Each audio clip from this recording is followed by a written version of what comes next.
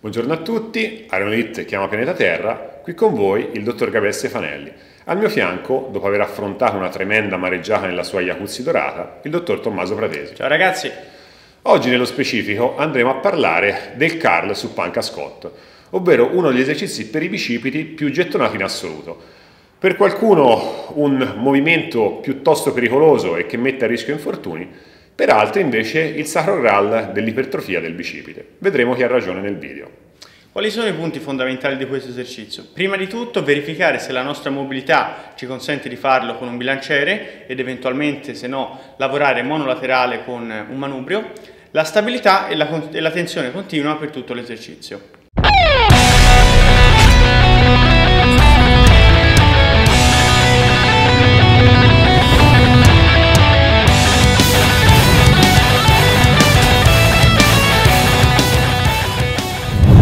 Allora, eccoci qua a parlare di un esercizio molto celebre, soprattutto per quello che riguarda l'allenamento dei bicipiti. La panca Scott. Ora, io credo che chiunque abbia un'idea di questo esercizio o l'abbia visto svolgere in palestra. Questo viene ritenuto un movimento molto pericoloso dal punto di vista della salute muscolotendinea dei nostri bicipiti. Questo però lo vedremo poi durante il video, soprattutto a causa di esecuzioni un po' errate. Allora, il primo ragionamento che noi dobbiamo fare su questo tipo di esercizio, piazzati un attimo senza prendere il bilanciere, Tommy. Ora, magari dal video non si vede bene, ma riguarda quella che è la curva di forza del bicipite. Allora, noi nel bicipite abbiamo una situazione, io sto in piedi dove vado a simulare praticamente quello che succede in un normale carle con manubrio o con bilanciere. Abbiamo una situazione dove dal punto di vista del nostro bicipite siamo deboli in questa posizione perché il bicipite è allungato e soprattutto eh, la leva dal punto di vista del tendine sulla, tuber sulla, tuberosità, sulla tuberosità radiale è praticamente parallela rispetto all'osso, per cui qui non riesco a sviluppare forza. Qui quello che si va a creare sia dal punto di vista della capacità muscolare del muscolo che si, che si trova nella parte mediana del suo, del suo, profilo di forza, ma anche per quella che è la leva del, del tendine sull'osso, aumenta sia la distanza dall'articolazione e soprattutto aumenta la perpendicolarità del, del tendine rispetto all'osso, c'è una posizione di forza, non a caso questa è la posizione dove noi riusciamo a fare forza con il bicipite, per poi ritornare ad essere tendenzialmente un po' più deboli nella posizione di contrazione. Ora, quello che succede quando noi utilizziamo un manubrio o un bilanciere è che in basso abbiamo zero resistenza, il che ci può anche stare perché noi comunque qui siamo deboli, abbiamo tutta la resistenza qui quando noi siamo forti e poi abbiamo uno scarico di resistenza quasi completo quando siamo in questa posizione dove siamo un pochino più deboli perché ovviamente vedete il carico praticamente finisce per essere praticamente allineato all'articolazione del gomito. Per cui c'è un, c'è un accoppiamento fra profilo della forza muscolare e profilo della resistenza che non è sbagliatissimo, ma potrebbe anche essere migliore. E in questo senso la panca Scott ci, ne è un esempio molto buono. Mettiti seduto, Tommy, ce la fai a stare seduto in questa posizione? Perché se noi andiamo a vedere, ora qui si tratta di, una, di un, ehm, in questo modello probabilmente lo, diciamo, l'imbottitura è persino troppo, è persino troppo, è persino troppo verticale, un'inclinazione ideale di solito è sui 60-70 gradi. Ma quello che noi andiamo a notare, rispetto anche a quello che ho detto poco fa, è che in questa posizione, come vedete, la proiezione del carico, immaginate che lui abbia un bilanciere o un manubrio nelle mani, è qui, ed è già distante da quella dell'articolazione. Per cui noi in basso abbiamo un po' di carico, non abbiamo zero carico come ad esempio con un manubrio o con un bilanciere quando stiamo in piedi. Per cui anche in basso, dove come ho detto è vero che il bicipite è debole, però questa non è una buona scusa per avere zero tensione in basso, per cui io in basso ho un po' di tensione.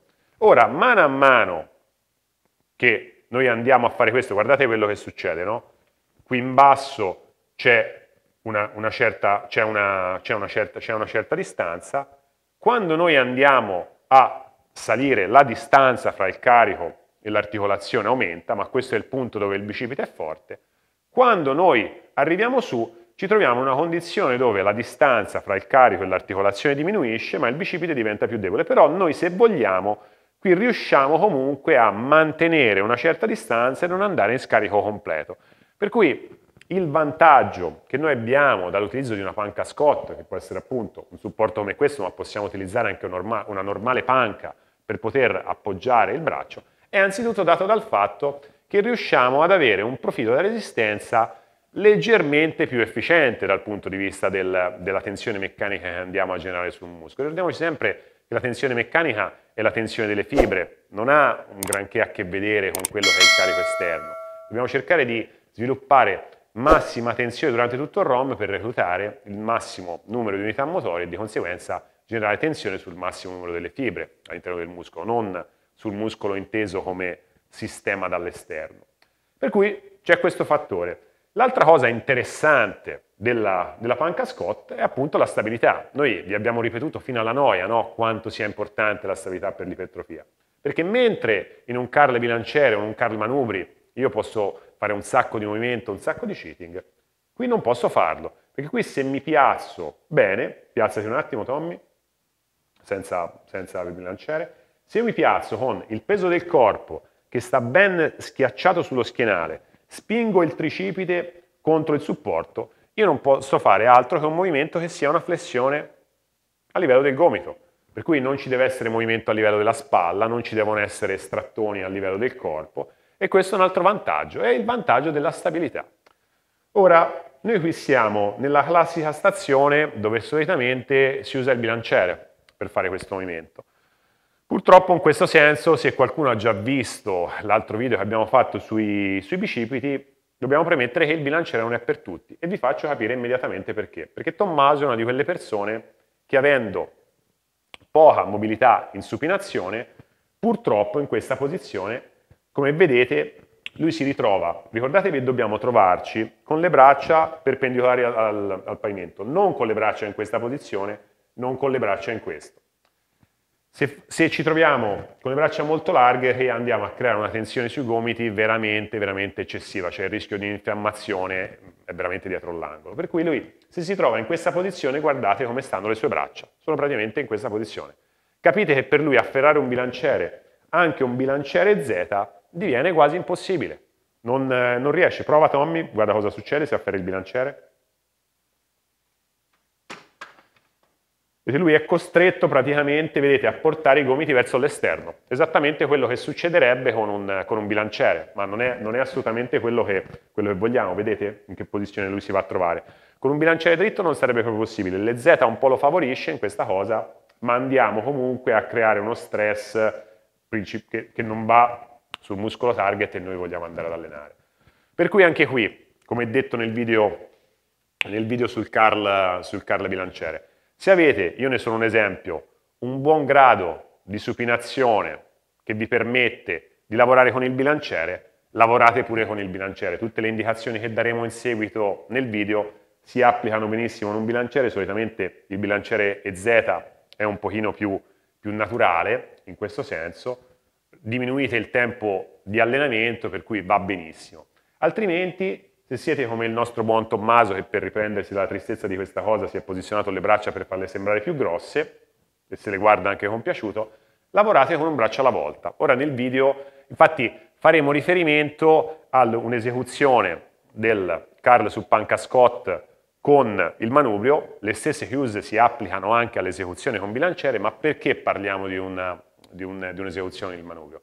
Per il semplice fatto che il 70%-80% degli utenti in palestra si trovano nella condizione di Tommy, per cui il manubrio diventa decisamente più funzionale e più gestibile dal punto di vista proprio anche dell'articolarità del soggetto. Come detto, l'esecuzione con manubrio è molto più fisiologica, ci permette di stare tranquillamente con il braccio perpendicolare al pavimento e allora possiamo già andare ad osservare delle cose. Il modo in cui si è piazzato Tommaso. Tommaso si è piazzato con il ginocchio poggiato sulla seduta in maniera tale da avere tutto il peso del corpo schiacciato qui. Questo perché? Perché vogliamo andare a ridurre al massimo tutti i movimenti non necessari. Ora, da questa posizione, lui si piazza, spinge forte con il gomito contro il supporto, in modo tale che non ci siano movimenti di alcun tipo a livello della spalla o del braccio da qui. L'idea ora deve essere quella di andare a schiacciare l'avambraccio contro il bicipite. Stop. Non quella di sollevare il manubrio. Perché se lui, guardate cosa succede, se lui pensa a sollevare il manubrio, vai su Tommy, succede questo. Succede questo, che tutto il corpo si solleva assieme. Per cui l'idea, voi pensate che il manubrio diventi una prolunga della vostra mano e l'idea deve essere quella di schiacciare con l'avambraccio il bicipite. Anche qui, cosa molto importante, e fattore che poi porta le persone ad infortunarsi nella panca scotta, l'avevamo detto all'inizio. Nella posizione iniziale, piazzati leggermente più indietro Tommy, nella posizione iniziale, come detto, il bicipite è una leva molto svantaggiosa a livello tendineo sull'avambraccio, per cui è molto importante non arrivare nella posizione di completa estensione, perché potrebbe essere rischioso, e soprattutto partire lentamente.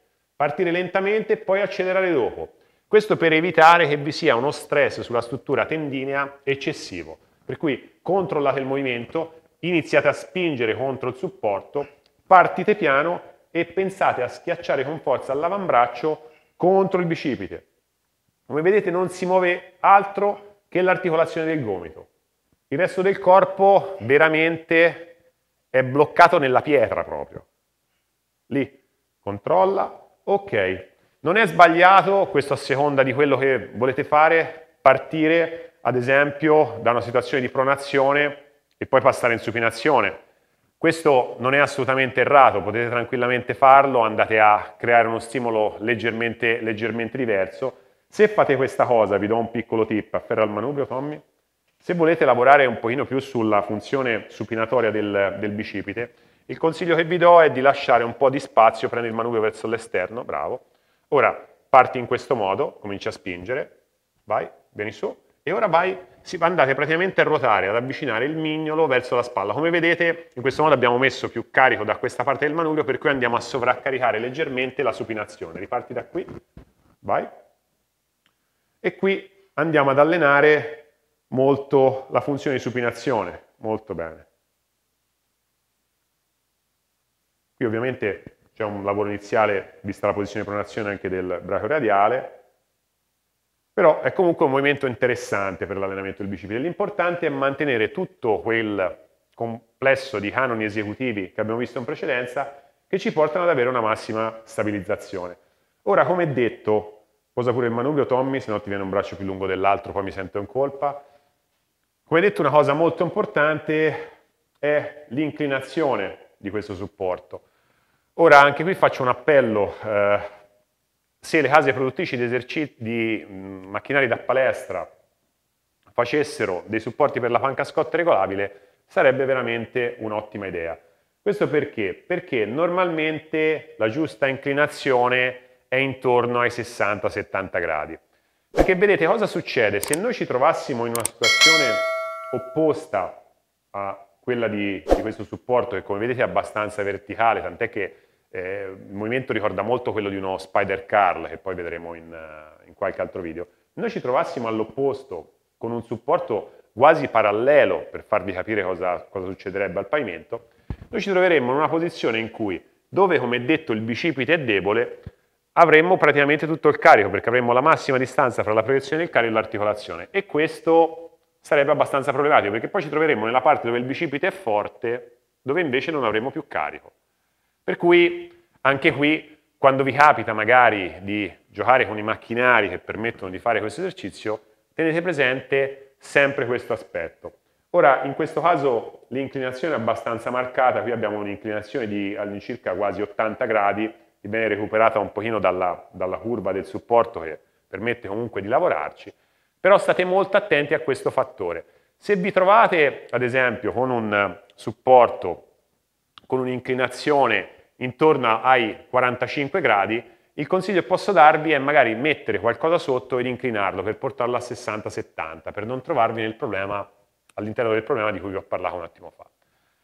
Per cui, riallacciandoci un attimo al discorso iniziale, non è che la panca Scott sia pericolosa di per sé, anzi è un ottimo esercizio per lo sviluppo del bicipite se adattato all'articolarità del soggetto e fatto in un determinato modo. Come sempre è questo quello che fa la differenza è il come facciamo le cose che le rende pericolose o meno. Come sempre, spero che questo video possa esservi utile per gli allenamenti che andrete a svolgere da domani in là Spero vi sia piaciuto, sia stato di vostro gradimento, vi siano piaciute le braccia, le braccia possenti del buon Tommaso. In caso affermativo faccio vedere un bicipite, Tommy. Bravissimo, hai anche scrocchiato qualcosa. In caso affermativo mettete like, iscrivetevi al canale e noi ci vediamo alla prossima. Ciao ragazzi!